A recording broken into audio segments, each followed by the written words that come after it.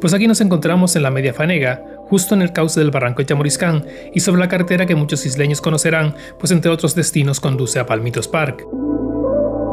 Transitamos poco más de un kilómetro por ella hasta tomar el sendero que nos sube por su ladera oeste, concretamente por la zona conocida como las 6 hectáreas.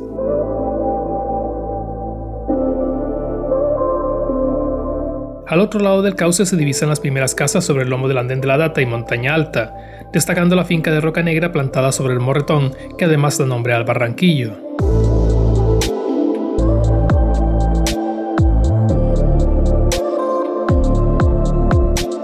Con no demasiado esfuerzo alcanzamos la cima del lomo del Tajul, topónimo presuntamente aborigen que también da nombre a los riscos de la cara oeste, a una cañada y a las mesas que visitaremos en breve.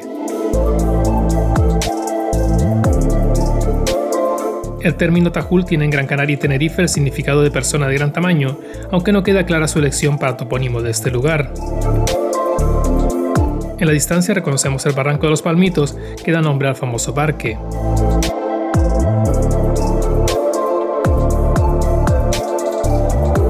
El aspecto del lomo del Tajul es el habitual de la zona sur, con suelo repleto de lajas y con vegetación típica, sorprendiéndome la gran cantidad de gamonas que encontramos y que suelo asociar a paisajes más al norte de la isla.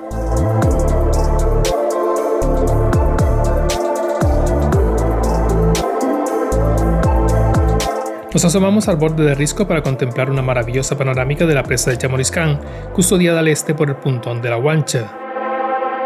Acabada en 1965, tiene una altura sobre cimientos de 35 metros y un hectómetro cúbico de capacidad.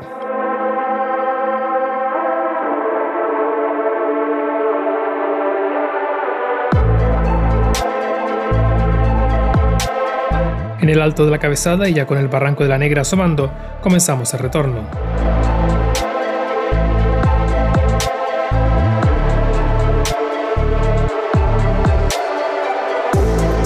Desde este punto las vistas del barranco son magníficas y estando la presa llena como enseguida comprobaremos, es posible ver desde aquí la cola de la presa. Toca ahora descender hasta el muro de la presa, pues será este nuestro paso para cruzar el barranco. Realizamos un campo a través bajando por la ladera este del barranco, que en el tramo inicial se complica debido a la abundante vegetación y que va dando paso a un suelo rocoso con alguna que otra piedrilla suelta.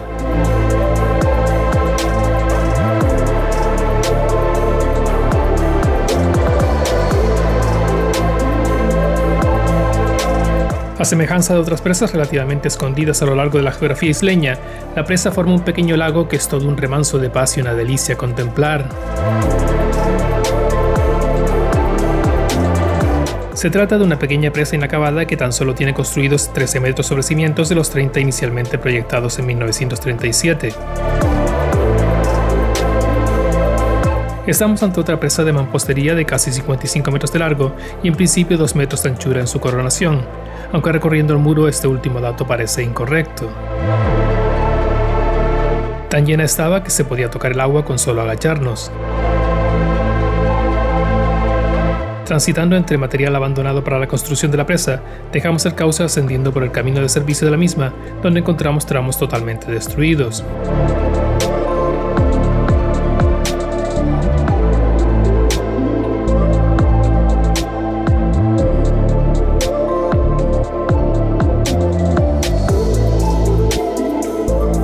A medida que ascendemos le damos un último vistazo a la presa y nos entretenemos con las curiosas formas rocosas del cuchillón de la negra. Alcanzamos a Gran Canaria 604 por la que circularemos en muy pequeños tramos, transitando la mayor parte del tiempo en un sencillo campo a través, recorriendo entre fantásticas vistas una curiosa sucesión de degolladas y altos, junto a una carretera que va cresteando al más puro estilo senderista.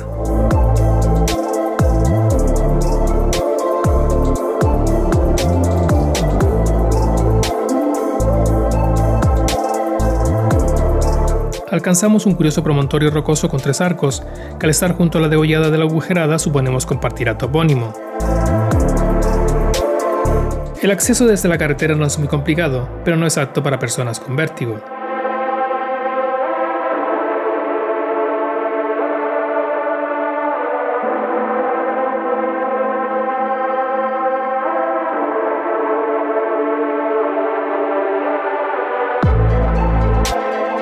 Sub y baja, sub y baja, llegamos a la zona de pajaritos donde tomamos un sendero bien marcado que aproximándonos al borde de la cañada de pajaritos nos va bajando por el lomo.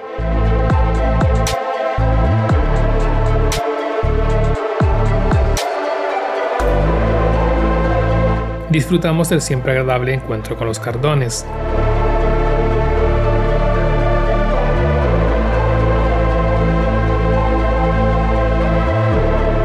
Abandonamos el sendero bien marcado por otro un poco más desdibujado y pedregoso que nos desciende en un último empujón hasta el cauce del barranco.